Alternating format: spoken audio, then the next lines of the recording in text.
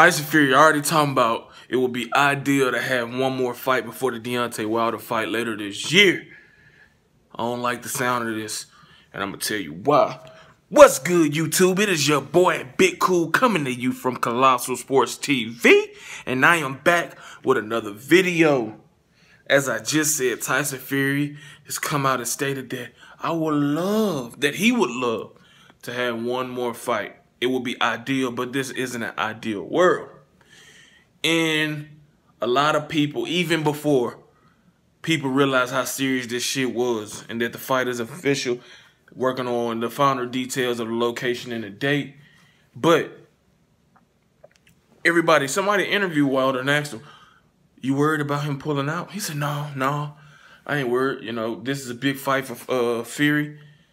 Eh, and this is a chance to become a champion again. But everybody know, everybody know that Tyson Fury is a character. He can be a loose cannon. He can be very unpredictable and untrustworthy.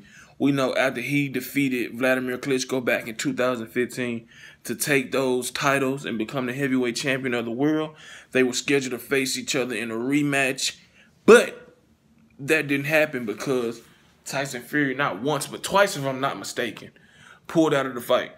Um, he cited mental health issues, personal issues, and you know the fight with the rematch was scrapped.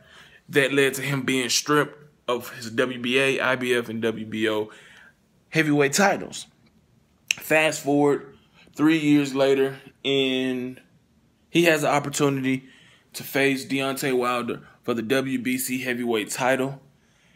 Deontay Wilder was in Belfast, Ireland this weekend to start up the promotion and hype for the fight. He got in the ring after Fury was announced the unanimous decision victor over Francesco Pianeta.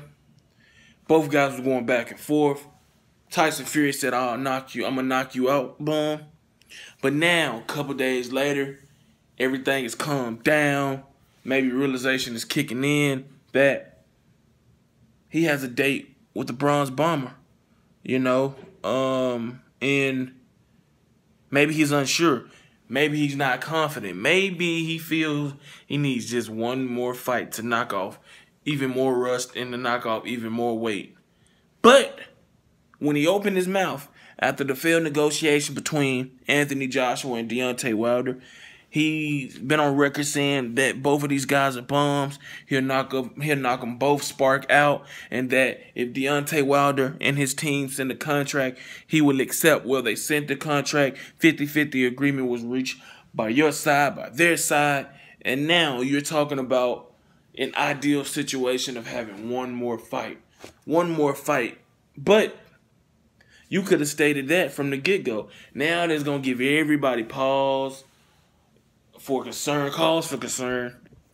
They're gonna have them pausing like, oh, oh, oh well, can't get too excited. Cause Fury already talking that bullshit. Is he finding these built-in excuses already, saying, well, if he gets knocked out, oh man, I just needed one more fight and I would have been ready. The, the rest would have been completely knocked off, you know? And I don't like this at all. I simply do not like it at all because you can't go out there talking all that shit, then when it's time to put your name on a dotted line and or after your name has been put on a dotted line, you start to have these reservations, second guessing yourself, these double thoughts about, wow, am I really, really, am I really ready for what I'm going to be facing later this year? And he had an ample opportunity, more than a few chances to tell Frank Warren, his promoter, Frank, I want that fight bad as hell. Can we push it for next year? But no, you know, he wanted the fight for this year, just like Wilder. So the fight is going to happen. I hope, I genuinely hope that once everything is signed, sealed, and delivered, and everything is officially announced, once training camps get underway, that neither guy suffers an injury and that Tyson Fury doesn't pull out. He doesn't pull out he needs to get himself mentally, physically, and emotionally ready for what's going to be his most difficult training camp and most important training camp in his career.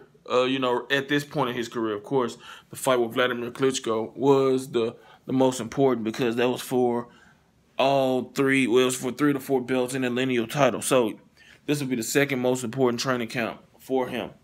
And if he's already having some doubts, already unsure, having regrets about you know agreeing to this fight, then that's not gonna bode well for him because he knows now he's backed into a corner. If he pulls out of this fight, he will probably never ever get a title shot again. Not like this. He's to have to become somebody's mandatory. As simple as that. Because now people are to see, oh, he did it with fucking Vladimir Klitschko twice. You know, um, now he's doing it with Deontay Wilder. Anthony Joshua, they ain't going to fuck with him. They don't like him as it is. They ain't going to fuck with him. And Deontay Wilder going to be disappointed and angry. He ain't going to fuck with him. So, Fury, you need to make whatever peace it is you need to make. You need to compose yourself if you're feeling anxious or nervous, or a little unsure, and do what you're going to do. I don't think he's scared of Wilder at all. But now that, like I said, now that the shit is time to go, lights are on and everybody's looking at you, your promoter Frank Warren has come out and stated the fight is on. Showtime says fight is on. BT fight is on. Everybody in the boxing world, around the world, saying the fight is on, knows the fight is on. It's time for you to embrace this challenge, get your ass into training, and go to work. Simple as that. I do not want to hear um, these excuses or these second guesses because you had a chance to, you know, tell them, hey, I want to fight in 2019 but you didn't. Leave your comments in the comment section down below giving me your thoughts on this. Do you actually think that Wilder Fury will go through once it's signed, or do you think that Tyson Fury will pull out due to an injury, personal issue, or whatever it may be? Let me know. Also, like this video, and if you like the content throughout the channel, hit that subscribe button and that notification bell button to be notified every time I upload content. Shout out to everybody in the movement that is moving with us. Be sure to check out 3kingsboxing.com for your latest and greatest updated, unfiltered, and unbiased boxing news reported the way it should be. Shout out to the homies, CJ from the Boxing Clinic and more, Cali from the Cali Enigma Show, and the rest of everybody um, that's doing their thing, the LDBC, and everybody in between. Until next time, I'm out. Peace.